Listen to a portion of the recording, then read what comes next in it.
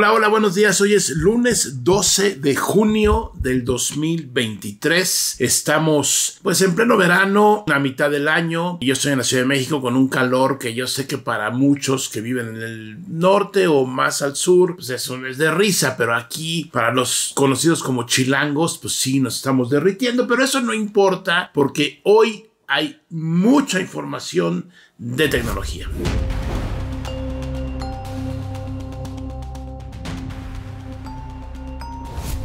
Muchas gracias por verme. Si lo haces a través de YouTube, gracias por descargarme y escucharme a través de todas las plataformas de podcast. Y bueno, arranquemos esta mm, edición de Inbox con el asunto tecnológico no político de la periodista Pamela Cerdeira. Seguramente enteraste que la historia cuenta que Pamela Cerdeira puso dos AirTags en dos productos que supuestamente iban a llegar a Turquía eh, a través de estos sistemas de donaciones, etcétera. Y hasta ahí todo bien. El asunto, bueno, ya dijo que no llegaron, etcétera. El asunto es, y el, el motivo de este comentario, es explicar un poquito cómo funcionan los AirTags, porque no usan GPS no usan la posición ofrecida por los satélites a los celulares y a otros muchos aparatos. ¿Por qué no lo usan? Bueno, por el tamaño, ¿no? Finalmente son muy pequeños. La batería creo que dura un año o más y están enfocados en precisamente utilizar la tecnología Bluetooth de low latency, una, una tecnología Bluetooth que usa muy poquita energía eléctrica. Y dices, bueno, pero si el Bluetooth da 20 o 30 metros, sí, pero resulta que Apple es una compañía muy grande y tiene muchos productos. Entonces lo que hacen es que el AirTag emite todo el tiempo, no sé cada cuánto, emite un pulso, una señal de Bluetooth. Y no tiene que estar el dueño cerca del AirTag para poder recibir la ubicación, sino que cualquier dispositivo de Apple, llámese básicamente iPhones, digo básicamente, también por ahí estarán las, las iPads posiblemente, pero bueno, en fin, eh, básicamente los iPhones recogen esa esa, información y la mandan anónimamente al dueño del AirTag. Por eso funcionan no es GPS. Toda la gente y comentarios que he escuchado y leído muchos, no, pero ¿cómo el GPS va a poder? No utilizan tecnología GPS, utilizan tecnología Bluetooth y la red de dispositivos de Apple, que esa es la parte sustanciosa, esa es la parte interesante, importante. Seguramente has visto por ahí ejemplos de cuando salieron los AirTags hace ya que un par de años, un poquito más. Has visto por ahí ejemplos de gente que le colocó un AirTag a una maleta y en todo momento sabían dónde estaba, etcétera, o a otro o a un coche o algo, bueno, pues realmente todo esto es gracias a que hay millones y millones y millones de iPhones en el mundo y es así como el AirTag, recuerda, le manda de forma anónima la información a tu iPhone si andas por ahí y tu iPhone que está conectado a internet manda esa ubicación, esos datos al dueño del AirTag, ¿no? Eh, cooperas porque cooperas, no hay forma de no hacerlo, eso lo ha hecho así o lo ha decidido Apple, lo cual me parece una excelente decisión y ahí, está el asunto. Ahora, el, contenido de que si sí, que si no, que los mandó, que no los mandó, ese no es tema de mi interés y mucho menos de este espacio, así es que bueno, solo para pues dejar muy claro que los AirTags no usan tecnología GPS y que funcionan gracias a lo que te acabo de comentar. Y bueno, justo terminó este showcase o este evento de Xbox de Microsoft en donde anunciaron por supuesto muchos títulos, pero también anunciaron algo muy interesante. Por ahí Phil Spencer básicamente lo que dijo es tenemos el hardware que tenemos actualmente, el último, y hay que seguir explotándolo, ¿no? Sí sacaron una nueva versión de, las, eh, de la serie S, o sea, la más chavita, con un disco de o un espacio de almacenamiento de un terabyte. Esta va a ser negra en lugar de blanca como era. Va a costar en Estados Unidos 349 dólares, eh, más o menos unos 6 mil pesos al tipo de cambio actual, y se llamará Carbon Black, el color Eh, la S original costaba 299 dólares, costó en México 8.500 pesos, o sea, estaba más alto el tipo de cambio, los impuestos y lo demás que le sumen costó esa cantidad de dinero. Y bueno, pues em, aparentemente el lanzamiento mundial de la nueva Xbox Series S o Serie S va a estar disponible a partir del primero de septiembre. Entonces, bueno, por supuesto que hay muchos títulos, eh, que la, anunciados muchos títulos. Eh, yo no soy experto en la materia, no me meto ni a mencionarlos. Te invito a seguir varios canales que hay de juegos muy buenos, muy profesionales, para conocer todos los detalles. Y bueno, ¿qué está pasando con Reddit? Bueno, ¿qué es Reddit? Ok, es una pues es una red social, ¿no? Porque finalmente hay mensajes y hay todo tipo de contenido, pero básicamente es un sistema de mensajes donde alguien escribe algo y, y normalmente mucha gente contesta. En los Reddits están los subreddits, que son como los temas, ¿no? Yo, por ejemplo, sigo a uno que se llama México Financiero, sigo otro que se llama Mex Memes o algo así. Uno que se llama México Mágico con J. Eh, en fin, varios eh, subreddits que a los que estoy suscrito y pues, me llegan las notificaciones y lo que la gente dijo. Algunos son muy interesantes, algunos no. Es una red muy grande, mundial por supuesto, con millones de usuarios. ¿Qué pasa? Que hace unos días, en una reunión que hubo ahí virtual en, la plata, en el portal de Reddit, Steve Hoffman, que es el CEO, o el director, o el dueño, o el chiraspelas de Reddit, contestó de forma ahí medio ambigua algunas cuestiones que le hicieron porque anunciaron que el API o la forma de interconectar eh, software de terceros con Reddit, que hay muchos, por, por supuesto, por ahí lectores y demás, pues iba a aumentar de precio. Y el asunto no es ese, sino que Reddit o la gente de Reddit dijo, eh, no, espérate, ¿cómo no me avisas antes? Pues por ahí Hoffman dijo, no, claro que les avisé en abril. Y bueno, empezó una rebatinga ahí que sí, que no, que sí, que no. Y el resultado es que hoy por hoy, bueno, hoy lunes 12 de junio, varios subreddits han sido privados. Por ejemplo, el médico financiero, eh, si te quieres meter, bueno, yo me quiero meter, es privado, ¿no? Ya no puedes entrar así nomás a ver qué hay. Algunos otros subreddits tienen, por ejemplo, uno que se llama iPhone, tiene 20 millones de usuarios. O sea, no son cifras ahí de 2.000 personas. Te acuerdas seguramente de lo que sucedió hace ya un par de años con las acciones de GameStop, este distribuidor de juegos que le hicieron ahí una buena jugada. Bueno, depende a quién le preguntes, pero inflaron artificialmente el precio de la acción. Todo eso se gestó en Reddit. Es una red muy importante. Tienen problemas. Eh, a ver cómo lo resuelven, a ver si el CEO se retracta, no sé, en fin, si nunca has usado Reddit, te lo recomiendo. Eh, hay que buscar bien. Hay contenido no apto para la oficina, hay contenido para du, hay todo tipo de contenidos. Si hay censura, está muy clara la censura que está. Más que censura, hay cosas que no puedes hacer y ya mucha gente lo sabe. Entonces, eh, eh, bueno, pues finalmente date una vuelta. Reddit.com están las aplicaciones oficiales, hay sitios de terceros, hay sitios que solamente extraen contenido gráfico de Reddit y lo muestran en, tu página. En fin, hay mucho, todo un mini ecosistema con Reddit que hoy está en problemas. Y bueno, como sabemos, tú sabes, yo sé, todos sabemos, Apple anunció su Vision Pro, esta nueva computadora que te pones en la cabeza, ¿no? Decirle unos lentes es como raro porque no son unos lentes, es una computadora, acuérdate, cómputo espacial. Y no es espacial de que te vas a ir de la órbita, sino espacial por el espacio, ¿no? o sea, no es plano en una pantalla, sino que pues sería como algo 3D, ¿no? Pero es cómputo espacial. Ok, eh, como tú sabes, eh, Zuckerberg de Meta Facebook. Tiene ahí su producto que se llama Quest. Son unos lentes de, realidad virtual que recientemente anunció una versión 3. Ya sabes, tendrá mayor resolución, mayor rendimiento, mejores gráficos, etcétera, etcétera. Va a usar el Meta Reality, que es una tecnología innovadora, que sea que sea. Es una combinación de realidad virtual, realidad aumentada, que van a costar 500 dólares contra los 3.500 de los de Apple. ¿Qué dijo Zuckerberg? Bueno, textual, ¿eh? Textual. Voy a decir, a leer lo que dijo. Muestra Vision Muestra las grandes diferencias de objetivos que existen entre nuestras empresas en lo que concierne a este tipo de tecnología. Muy cuidado su comentario, por supuesto, pero dice, pues es otra cosa, ¿no? Y luego remata diciendo, esto podría ser un avance del futuro de la informática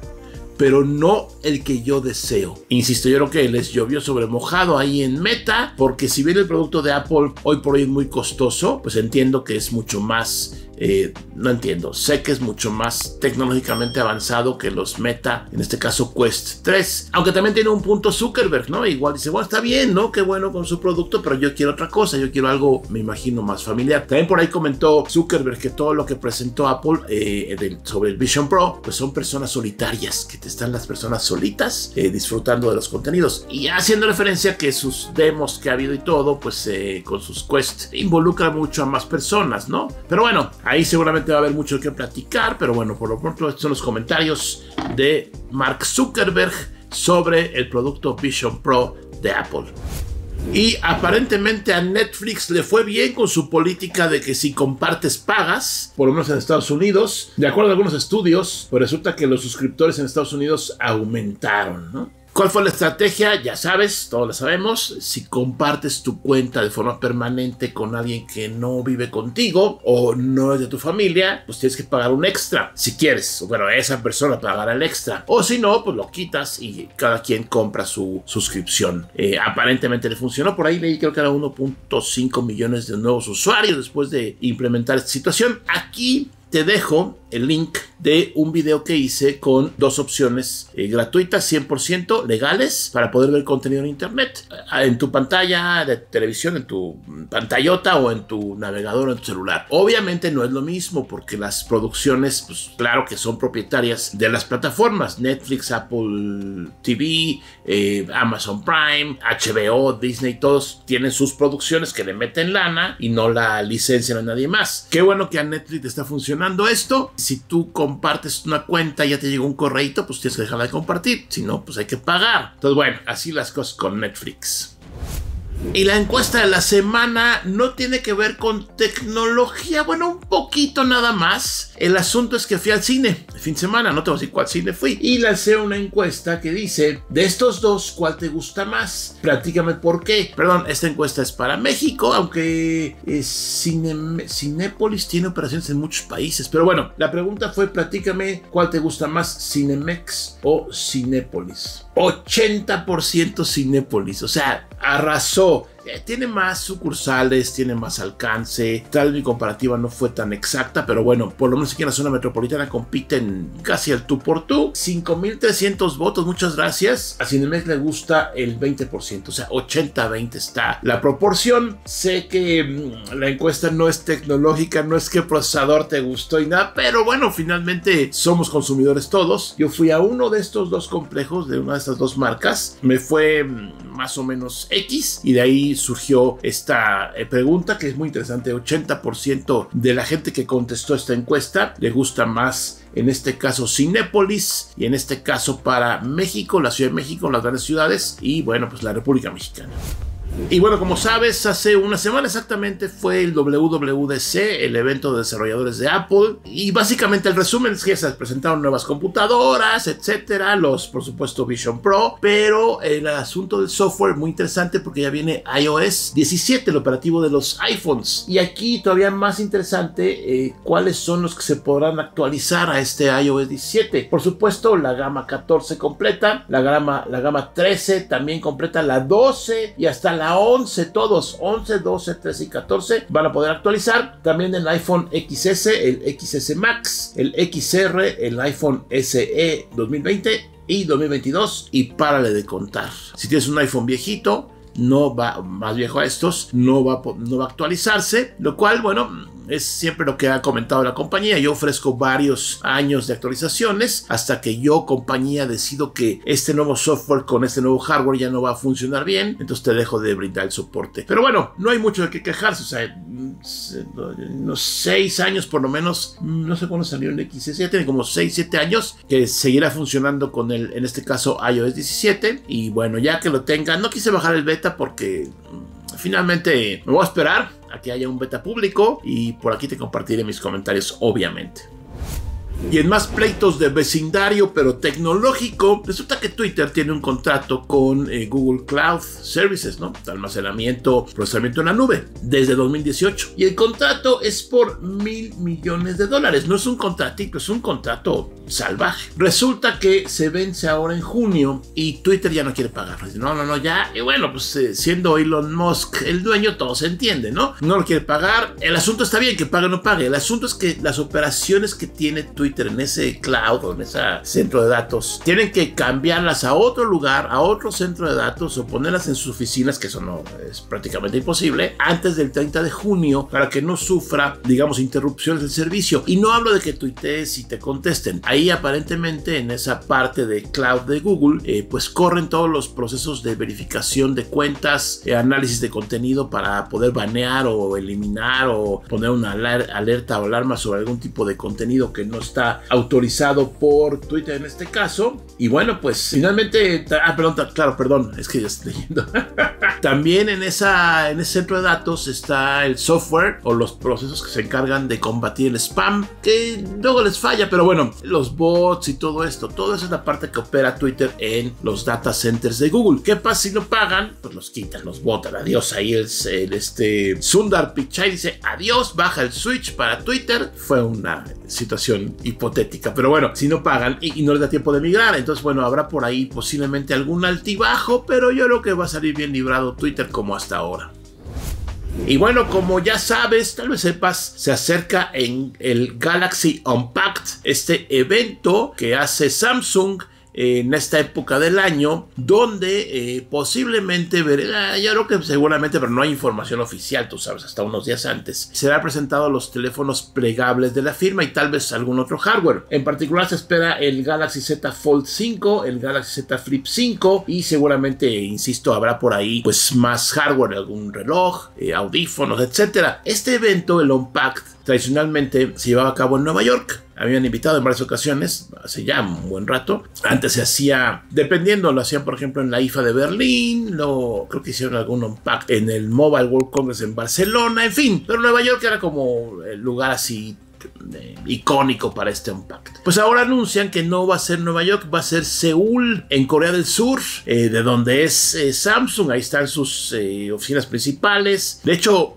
un porcentaje importante del Producto Interno Bruto de Seúl, país, depende de algunas compañías, entre ellas Samsung y otras también, no nada más, pero es una compañía muy importante para el país. Y bueno, aparentemente allá va a ser este Unpacked en Corea del Sur. A ver si nos invita, pues vamos, ¿no? A conocer obviamente. Y también hay por ahí unos rumores de, un sitio que se llama My Smart Price, un sitio por ahí, hay rumores, ¿no? Que podrían hacer este Unpacked en Estados Unidos y Canadá en agosto, el 11 de agosto, como dos Unpacked, bueno, más bien, un Unpacked que es finales de julio, es lo que se sabe, que es el oficial. Y luego el segundo pues, es como para los norteamericanos, ahora sí que norte norteamericanos, Estados Unidos y Canadá. Pero bueno, ya viene el Z Fold 5, el Z Flip 5, mm, sin duda los primeros teléfonos plegables que salieron al mercado de forma masiva, que fueron vendidos de forma razonable, que ya tiene mucha competencia. Sobre todo el Flip tiene varios competidores por ahí con una pantalla más grande en el frente, con algunas otras funciones. Yo creo que los teléfonos plegables, los Fold, ¿no? Son de un nicho súper reducido. Sin embargo, creo que los Flip tienen más oportunidades. Aquí tengo uno, justo un Samsung, el Z Flip 4. Yo creo que tiene más oportunidades un teléfono que se plega así de forma, digamos,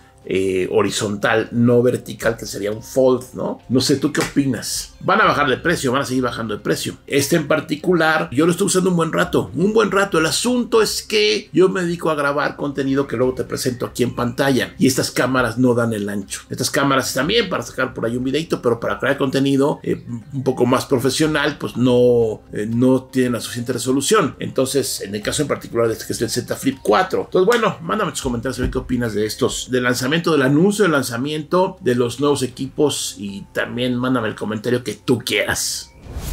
Y hablando de comentarios, estamos llegando a la recta final de este inbox. Dice eh, Senatus Populus Que Romanus. Bueno, pues ese es el nombre que se puso. Hola ingeniero, me fascina su inbox, muy interesante temas. ¿Alguien está dispuesto a que le instalen un chip en el cerebro a ciegas, de buena fe, sin indagar los cómo, los por qué y los para qué?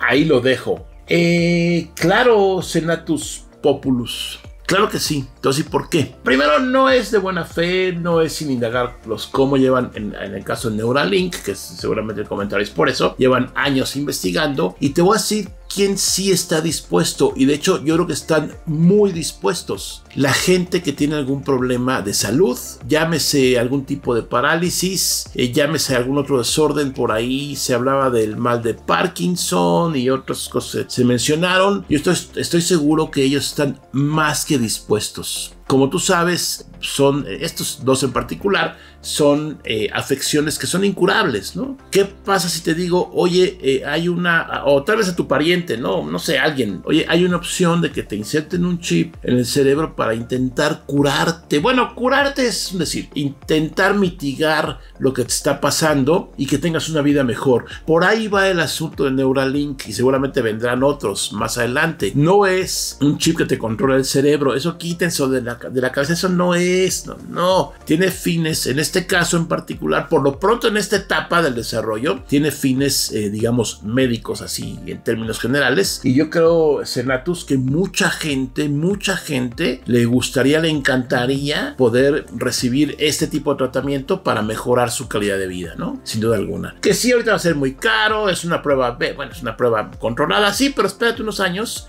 y seguramente esto va a crecer. Yo espero que esta tecnología u otra parecida sirva para alivia mejorar las condiciones de vida de estas personas afectadas por estos padecimientos que son crónicos, alguna vez son degenerativos y finalmente son mortales. Laler Alberto, adiós Netflix, el 4K en 300 más 70 de compartirla con mi hermano en su casa. 370 pesos, no gracias, con eso pago tres servicios de streaming, pero no es cuál estés, pero ok, está bien. Roberto RC, hola Javier, sería bueno hacer la encuesta sobre cuánta gente dará de baja el servicio de Netflix y qué otras plataformas piensan contratar. En lo personal, yo lo doy de baja para que las empresas entiendan que los usuarios mandan. Uso mi misma cuenta de Netflix en tres domicilios y en mi oficina, y aunque yo soy el único que la ocupa, no regalaré dinero. Híjole. Bueno, Roberto, pues tengo malas noticias porque según un reporte, a, raíz de esto, Netflix en Estados Unidos por lo pronto ganó usuarios, ganó muchos usuarios con esta restricción, por lo menos en Estados Unidos. Eh, en otros países seguramente la reacción es distinta. En tu caso, si lo cancelaste, pues adelante, ¿no? Hay que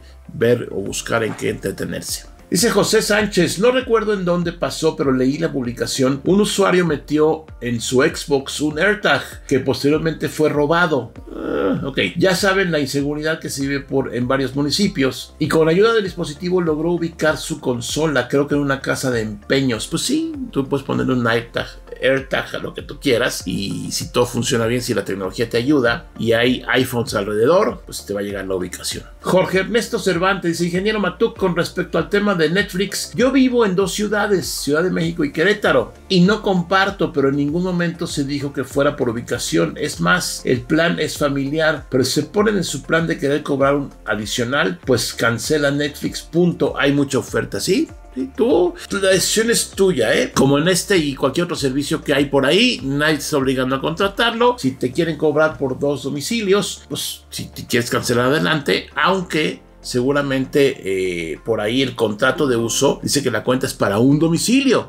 Bueno, si tú tienes los dos, pues es, es como... Eh, no es como, pero es como tu servicio de conexión a internet. Igual tienes dos casas, pues sí, pues lo pagas en cada casa, ¿no? Que se no se puede, no se puede compartir, no te puedes llevar tu fibra óptica de un lugar. Bueno, es algo parecido en concepto, ¿eh? Pero bueno, lo que tú decidas, yo te apoyo. Hey Matuk, eres un tipazo, gracias, un seguidor cuando estabas con Pontón. Gracias por noticias tecnológicas. Saludos, Héctor Alfonso. Y hablando de eso, ahí les traemos noticias. A ver quién se quedó a ver al final esta edición de Inbox, porque ya viene algo nuevo eh, y no solo con Pontón, ya les estaremos por ahí dando más información. Gracias por ver este inbox. Espero por supuesto tus comentarios. Si me escuchaste a través de cualquier podcast o servicio de podcast, muchas gracias. Si me viste a través de YouTube, muchas gracias también. Suscríbete al canal, dale like al video si te gustó y por aquí nos vemos con más contenido para ti.